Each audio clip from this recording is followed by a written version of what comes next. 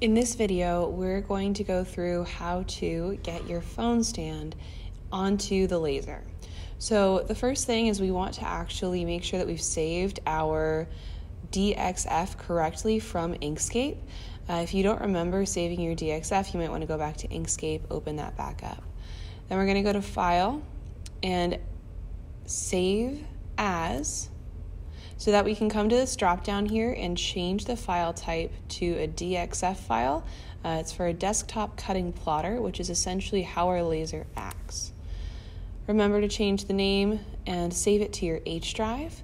When you hit the save button, it should pop up a second window that asks you to save it with some specific options.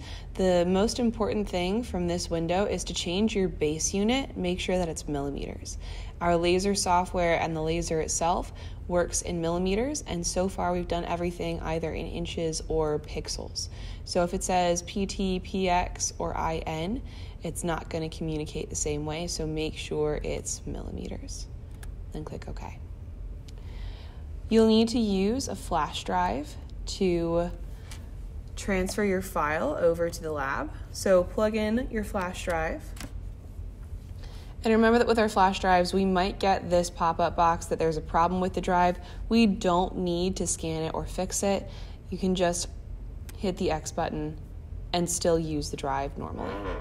Now, for our file. Uh, it's in my H drive to start, so I'm going to go to my H drive, find my file, the DXF one, and I'm going to click and drag it, drop it into the USB drive so that I'm copying it there. Then I can go ahead and unplug the USB drive and take it into the lab.